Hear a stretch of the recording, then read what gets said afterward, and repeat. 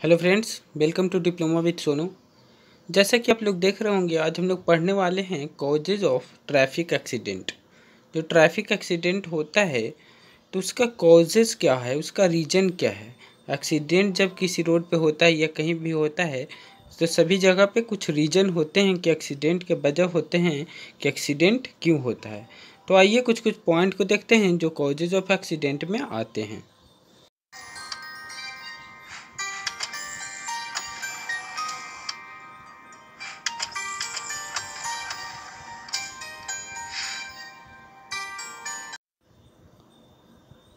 तो देखिए फ्रेंड्स सबसे फ़र्स्ट जो रीज़न होता है, वो होता है डिस्ट्रैक्टेड ड्राइविंग जब ड्राइविंग करते रहते हैं कोई तो क्या होता है कि ड्राइविंग करते समय वो डिस्ट्रैक्ट हो जाते हैं। जैसे कभी आप लोग भी रूल रेगुलेशन जानते होंगे कि ड्राइविंग करते वक्त फ़ोन का इस्तेमाल नहीं करना है। जैसा कि आप लोग देख रहे हैं, यहाँ पे ये महिला क्या कर रही है? फ़ोन का इस्तेमाल कर रही हैं। तो जब फ़ोन का इस्तेमाल कर रही हैं तो इसके, इससे क्या होगा? एक डिस्ट्रैक्शन आ जाएगा और जिससे क्या होगा कि उनका एक्सीडेंट हो सकता है। इसी चलते वहाँ पर लिखा हुआ रहता है do not use mobile phone in driving ठीक है? तो ये सबसे फ़र्स्ट रीज़न हो गया जो कि है डिस्ट्रैक्टेड इन ड्राइविंग किसी वजह से, जैसे मोबाइल फ़ोन ही नहीं है, जो आपको डिस्ट्रैक्ट कर सकता है। कुछ और भी रीज़न हो सकता है जो आपको डिस्ट्रैक्ट कर सकता है ऑन द पर ऑन गोइंग ड्राइविंग पे। ठीक है? डिस्ट्रैक्टेड ड्राइविंग इंक्लूड्स ड्राइविंग भी while using a cell phone जब हम लोग सेलफोन का इस्तेमाल करते हैं, तब हम लोग डिस्ट्रैक्ट हो सकते हैं या बोर्ड इलेक्ट्रॉनिक्स कोई electronics item and G P S it also include eating and drinking and applying makeup personal grooming या reading and anything else that takes your eyes off the road तो देखिए distraction सिर्फ़ mobile से नहीं होता है cellphone से नहीं होता है।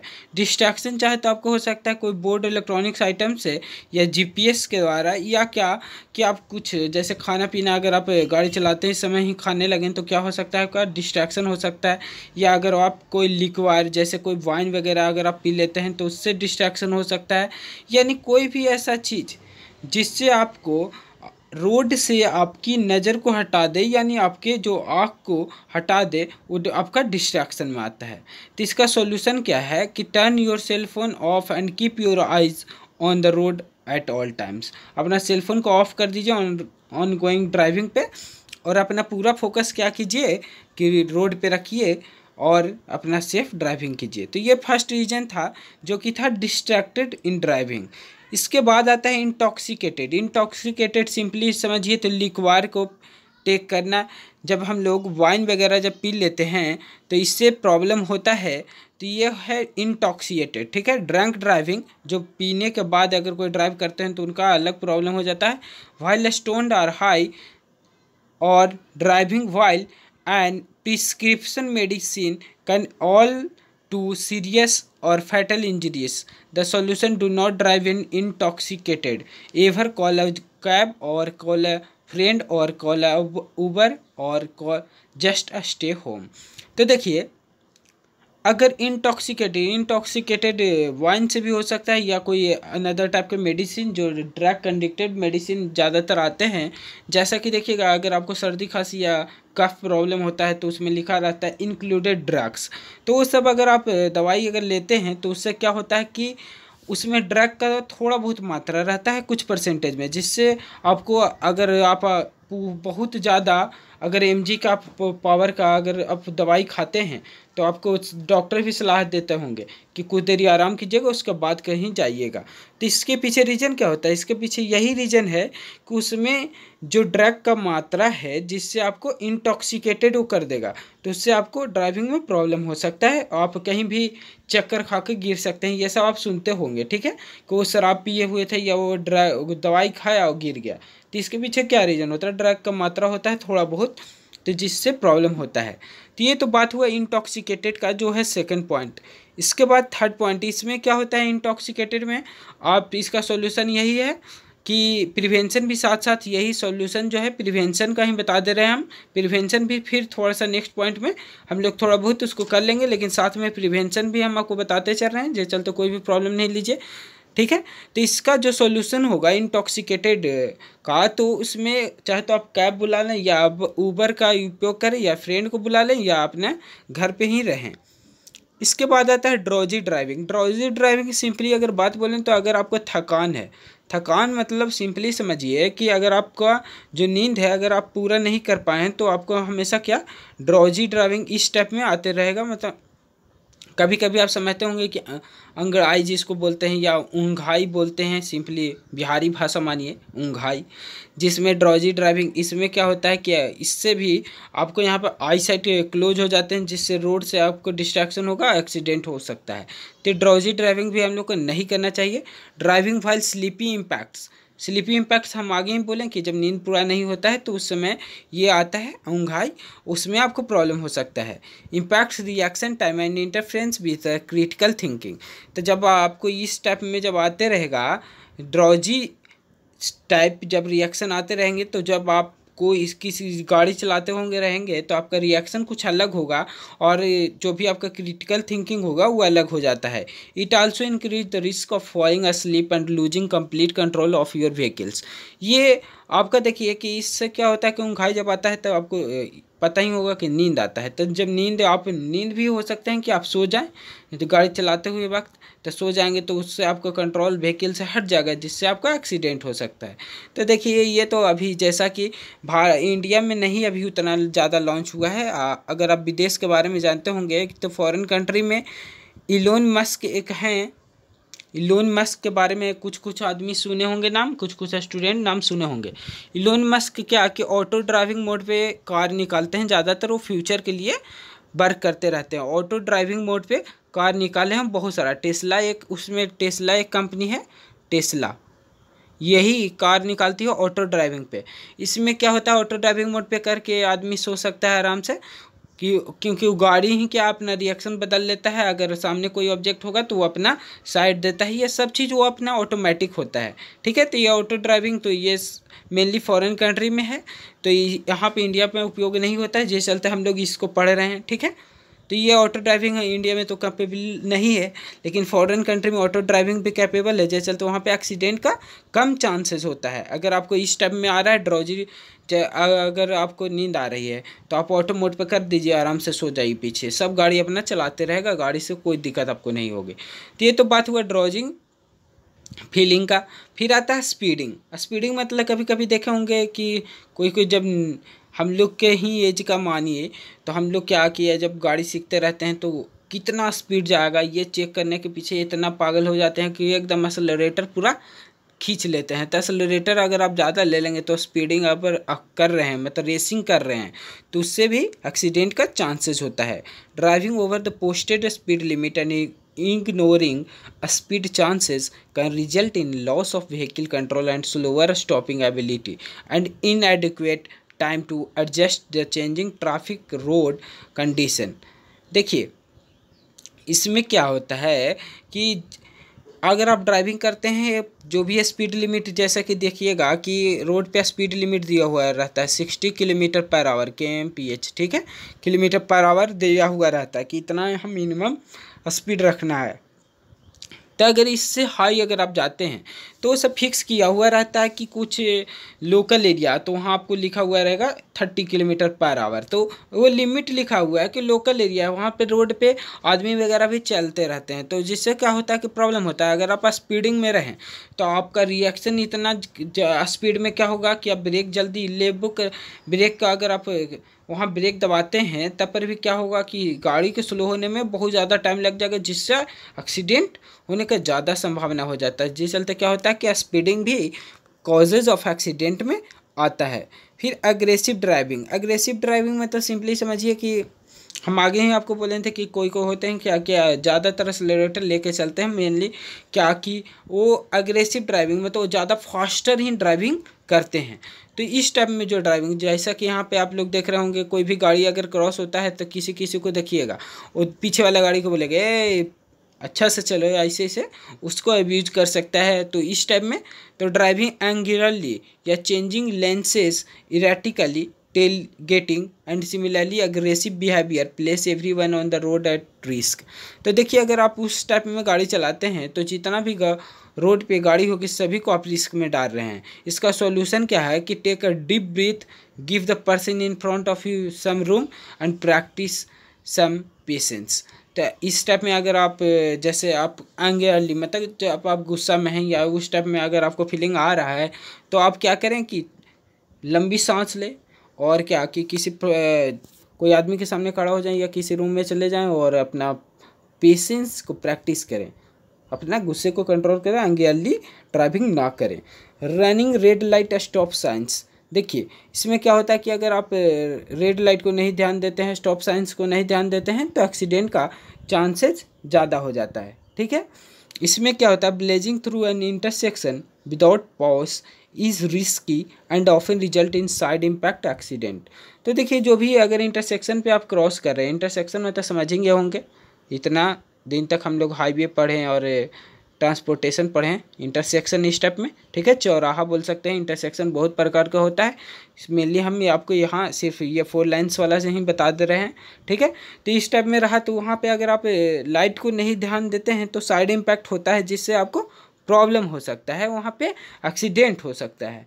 तो इसका सॉल्यूशन क्या है कि stop for a full two second and two, and at a stop signs come to full stop when possible on yellow and never run on red light देखिए, रुक जाइए थोड़ा देर समय दीजिए और जब रेड लाइट से येलो लाइट कन्वर्ट हो तभी आप वहाँ से चलिए। रेड लाइट पे कभी भी ना चलें।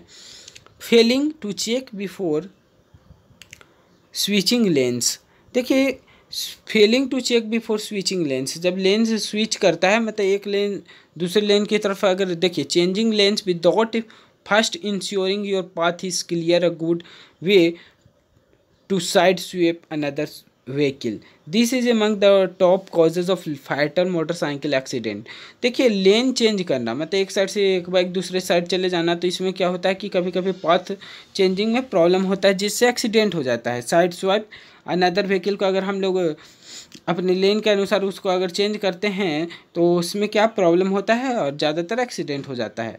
This is among the top ये टॉप कॉजेज होते हैं मोटरसाइकिल एक्सीडेंट में। इसका सॉल्यूशन यही है कि check your mirrors check over your shoulder and always signal your intent देखिए, हमेशा देखिएगा फ्रंट मिरर लगा हुआ और होता ही ये जैसे आप लोग देख रहे होंगे यहाँ पे। मोटरसाइकिल में आप देख रहे होंगे यहाँ। फ्रंट मिरर जैसे यहाँ पे लगा हुआ है, एक इस टाइप में है, इधर वाला तो टूट फूट गया है, ठीक है? एक्सीडेंट हुआ जो चलते टूट फूट गया, ठीक है? तो इस टाइप में मिरर क्यों दिया हुआ रहता है? क्योंकि आप बैक साइड में अपना ध्यान देते रहें अगर आप अपना लेन को चेंज कर रहे हैं तो बैक साइड में ध्यान दीजिए कि दूसरे साइड से गाड़ी आ रही है कि ना आ रही है, ठीक है? इस चलते यहाँ पे मिरर दिया हुआ रहता है। और इंडिकेटर्स का हमेशा ध्यान रखें, जो यहाँ पे इंडिकेटर्स पीछे में दिया हुए, दिया हुआ भी रहता है, यहाँ पे देख रहे होंगे। ये वाला इंडिकेटर है। तो इस स्टेप में आप इंडिकेटर को जला कर ही मुड़े। तो जिससे क्या होगा क्या होगा? आपको एक्सीडेंट का चांसेस कम हो जाएगा। इग्नोरिंग कंस्ट्रक्शन जोन्स अगर जो भी कंस्ट्रक्शन जोन है तो अगर उसको हम लोग इग्नोर करके चलेंगे तो एक्सीडेंट का चांसेस बढ़ जाएगा।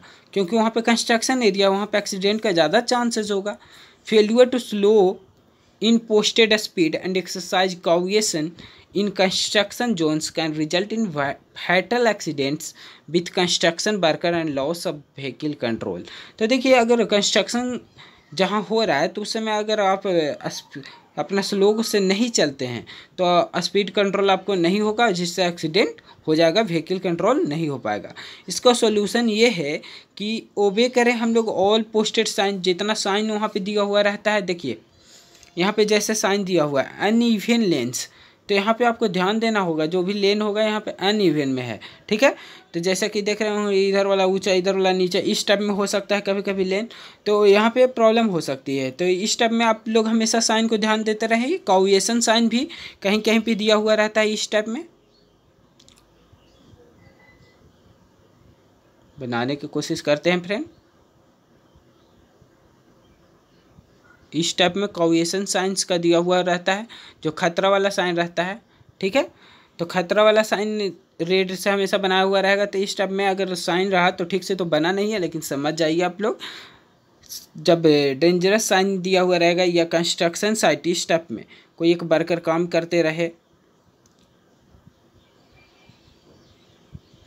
कोई एक वर्कर काम करते रहे। इस टाइप में साइट यहाँ पर बनाया जाता है कंस्ट्रक्शन साइन दिया जाता है तो उस टाइप में आप अपना साइंस को ध्यान देकर ही चलाएँ। फिर poor weather condition poor weather condition भी एक बहुत ही इम्पोर्टेंट रोल होता है कॉजेज ऑफ़ एक्सीडेंट में। जैसा कि देखिए, बारिश के कभी मौसम हो, अगर आप वाइपर का उपयोग ना करें, बारिश का मौसम हो, और आप कार चला रहे हैं और वाइपर का इस्तेमाल ना करें जो कार चलाते होंगे, उनको पता है कि बाइपर क्या है। बाइपर क्या होता है कि ये फ्रंट में लगा हुआ होता है, कुछ इस टाइप में उसका सेफ़ होता है। क्या होता है कि जब वहाँ पे मॉइस्चर आता है तो उसको हम लोग वाइपर को ऑन करते हैं तो इस टाइप में ये मूव करता है, जिससे क्या होता है कि वो जो मिरर होगा, जो फ्रंट मिरर होता है, जो बाहर में मिरर लगा हुआ होता है, उसको साफ़ करता है। तो बाइपर का अगर इस्तेमाल हम लोग ना करें, अगर रेनिंग सीज़न है तो प्रॉब्लम हो सकता है हम लोग को ठीक से। ब्लर इमेज दिखेगा, ब्लर इमेज दिखने से क्या होगा कि एक्सीडेंट का चांसेस बढ़ जाएगा। तो पुअर वेदर कंडीशन भी इम्पोर्टेंट रोल अदा करता है कॉजेज ऑफ़ एक्सीडेंट में। रेन स्नो आइस हम आगे ही बता दिए and other conditions can make roadways slick dangerous for everyone on them जो भी वहाँ पे हैं, सभी के लिए डेंजरस करता है। तो इसका सोल्यूशन यही है कि drive slowly in inclement weather give the person in front of you extra space जो भी अगर आपको पर्सन आगे में है तो उसको एक्स्ट्रा स्पेस दें, ताकि वो अच्छे से ट्रेवल कर सकें and allow for fifteen to thirty minute extra travel time to get your destination पंद्रह से बीस मिनट ज़्यादा समय लगाएँ अपने डेस्टिनेशन को पूरा करने में तो हड़बड़ाएँ नहीं, आराम से चलाएँ, क्योंकि वेदर कंडीशन ख़राब होगा, जिससे प्रॉब्लम हो सकता है। इसके बाद बात आता है हैवी ट्रैफ़िक हैवी ट्रैफ़िक में जब बहुत ज़्यादा ट्रैफ़िक होता है when traffic increases so too do risk for accident the solution इसका सॉल्यूशन क्या है कि जब ट्रैफ़िक ज़्यादा होता है तो वहाँ पे भी ज़्यादातर चांसेस हो जाते हैं एक्सीडेंट का। तो इसका सॉल्यूशन यही है कि हम लोग ट्रैफ़िक साइन को हमेशा फॉलो करें पे अटेंशन करें रोड पे और अवॉइड करें ड्रग्स अल्कोहल जो भी हम लोग बोले थे इंटॉक्सिकेटेड सब्सटेंस का उपयोग ना करें and triple check before switching lanes और लेंस को चेंज करने से पहले तीन बार कम से कम चेक कर लें ताकि एक्सीडेंट का पीक ट्रेवल टाइम हम लोग को लग सके कि कोई भी एक्सीडेंट ना हो। We can help we can help कैसे? देखिए कि sadly even the safest and most responsible driver may not be able to avoid an accident caused by someone who can't be bother to drive nicely देखिए sadly मतलब safest और कोई एक person है जो ड्राइवर है, अगर वो अपने आप में सही है, लेकिन दूसरे की गलती की वजह से उसको भी एक्सीडेंट हो जाता है तो ये भी एक प्रॉब्लम वाली चीज़ है। If you are injured or a loved one is killed by one of these irresponsible driver our attorneys can help तो ये मेनली अनदर कंट्रीज़ के लिए है, इसके लिए फोकस हम लोग को नहीं करना है। तो देखिए मतलब अगर आपका गलती नहीं है, दूसरे जो ड्राइवर हैं, उनके वजह से कोई एक्सीडेंट हो जाता है। तो इसके लिए आप तो दूसरा जो ड्राइवर है, वो अगर रिस्पॉन्सिबल है तो आपको कुछ कुछ कंट्री में या इंडिया में भी हेल्प मिल सकता है, कोई वहाँ पे आप पुलिस कंप्लेंट कर सकते हैं और या कोई भी अनदर टाइप का एनजीओ टाइप आपको हेल्प कर सकता है। तो ये तो बात हुआ कि हम लोग का कॉजेज ऑफ़ एक्सीडेंट क्या है और उसका हम लोग सॉल्यूशन भी करते गए सॉल्यूशन मतलब सिंपली कि उसका प्रिवेंशन ही हम लोग बात किए, ठीक है? इसके बाद हम लोग कुछ थोड़ा बहुत और जान लेते हैं प्रिवेंशन के बारे में, फिर cause total accident management complete हो जाएगा, ठीक है? तो आइए थोड़ा बहुत और नेक्स्ट पॉइंट देख लेते हैं प्रिवेंशंस के बारे में। तो जैसा कि देख रहे होंगे प्रिवेंशन के बारे में हम लोग और नेक्स्ट पॉइंट कुछ कुछ पॉइंट के बारे में जैसा कि बात किए कि और भी पॉइंट के बारे में चर्चा करते हैं। तो देखिए प्राइमरी प्रिवेंशन प्राइमरी प्रिवेंशन में तो रोड व्हीकल पीपुल सिस्टम ये सब सही होना चाहिए। तो ये प्राइमरी प्रिवेंशन है कि रोड सही कर दीजिए व्हीकल जो हो, आपका फुल मेंटेनेंस में हो पीपुल हो इंटॉक्सिकेटेड ना हो दारू ना पी ले रहे हैं वाइन वगैरह का यूज़ नहीं किए हुए रहे सिस्टम जो हो मतलब जो भी ट्रैफ़िक सिस्टम हो, ठीक से वर्क करे। सेकेंडरी प्रिवेंशन है प्री ट्रामा केयर कोई भी अगर किसी को ट्रामा केयर मतलब कोई बीमारी मारी है तो उसको बारे में आप इलाज करके ही जाएँ। जैसे अंगेली अग्रेसिव के बारे में हम बोले थे तो उसके लिए आप रुक के अपना पेशेंस को कंप्लीट करें कंप्लीट ब्रीथ लें, और उसके बाद अपना यूज़ करें। Acute emergency trauma care system कुछ ट्रॉमा केयर सिस्टम भी होना चाहिए। जैसे हाईवे पर देखिएगा कि हाईवे हॉस्पिटल होता है। अब मिनी हॉस्पिटल और मिनी वहाँ पे माइक्रोफोन भी दिया जाता है हाईवे में। पहले ज़्यादातर हाईवे पे माइक्रोफोन दिया फ़ोन वगैरह का यूज़ करने के लिए दिया हुआ रहता था। ताकि यूज़ कर सकें। फिर आता है टेरिशियरी प्रिवेंशन, इसमें हॉस्पिटल केयर और रिहेबिटेशन। तो रिहेबिलिटेशन, ये है tertiary prevention. Mainly three types में हम लोग प्रिवेंशन को डिवाइड करके समझें। तो ये तो बात हुआ कि कॉजेज़ ऑफ़ एक्सीडेंट और उसके प्रिवेंशन के बारे में। तो आइए एक बार हम लोग सिलेबस को फिर से देख लेते हैं, फिर पूरे अच्छे तरह से आगे बात करें। तो जैसा कि हम लोग बात कर रहे हैं तो फ्रेंड कि हम लोग ह्यूमन रिसोर्स मैनेजमेंट एचआरएम जो चैप्टर है यूनिट फोर यूनिट फोर में हम लोग कर रहे थे। यूनिट फोर यूनिट फोर में हम लोग आज पढ़े हैं सेफ्टी मैनेजमेंट के बारे में। सेफ्टी मैनेजमेंट में कॉजेज ऑफ़ एक्सीडेंट और सेफ्टी प्रिकॉशंस के बारे में पढ़ लिए ठीक है? तो इसके बाद जो भी नेक्स्ट लेक्चर हम लोग करेंगे तो उसमें हम लोग पढ़ेंगे कि introduction to factory act E S I act workman compensation act और इंडस्ट्रियल डिस्प्यूट एक्ट ये सभी एक्ट हम लोग नेक्स्ट लेक्चर में कर लेंगे। So thank you all friend and please do like share and subscribe diploma with Sonu at YouTube